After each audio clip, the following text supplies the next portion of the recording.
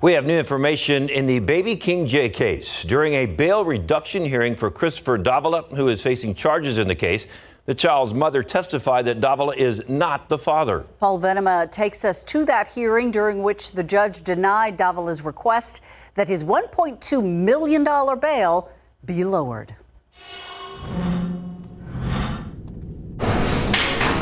Christopher Davila has been jailed since the body of eight month old King Jay Davila was found buried in a shallow grave in January. He's facing charges of injury to a child, serious bodily injury by omission, and tampering with evidence. In January, Davila claimed that the child was in his car when it was stolen. He later admitted burying the body after he said the child was injured accidentally at the home he shared with the child's mother.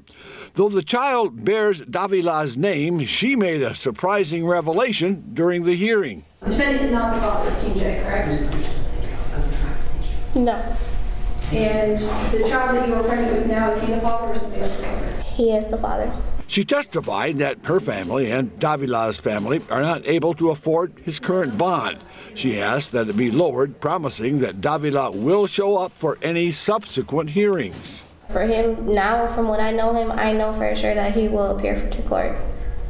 Because he's not the same person than he was before. Following the 30 minute hearing, Judge Andy Carruthers had his ruling.